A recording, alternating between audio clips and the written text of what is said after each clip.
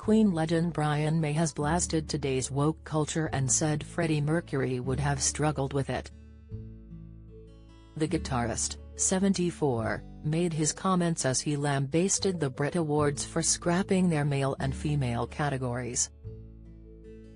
He said Freddie Mercury, who died aged 45 in 1991 after contacting AIDS, would have found the PC culture difficult.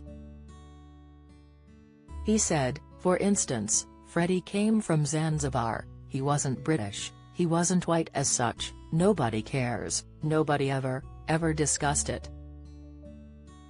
He was a musician, he was our friend, he was our brother. We didn't have to stop and think, ooh, now, should we work with him? Is he the right color? Is he the right sexual proclivity? None of that happened, and now I find it frightening that you have to be so calculating about everything. Brian believes even Queen, who have won four Brits, would not be considered diverse enough in the modern age. We would be forced to have people of different colors and different sexes and we would have to have a trans person. You know life doesn't have to be like that. We can be separate and different. Brian was speaking against the decision to have an Artist of the Year award instead of separate ones after non-binary singer Sam Smith criticized the ceremony for lacking inclusion. It means Adele and Ed Sheeran are likely to go head-to-head -head at February's ceremony.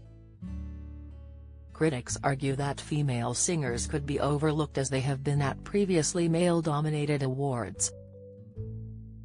Attending ITV's Palooza at the Royal Festival Hall with his wife Anita Dobson, Brian said, It's a decision that has been made without enough thought.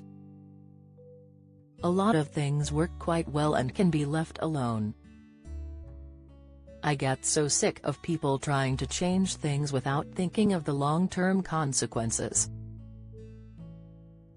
Some of these things are an improvement, some of them are not. The singer said that in society at present there is an atmosphere of fear everywhere because people are afraid to say how they really think. I think so many people are feeling hang on, this isn't quite right. But they don't dare say anything. Eventually there will be some kind of explosion. Do you have a story to sell? Get in touch with us at webcelebs at trinitymirror.com or call us direct 0207 29 33 33.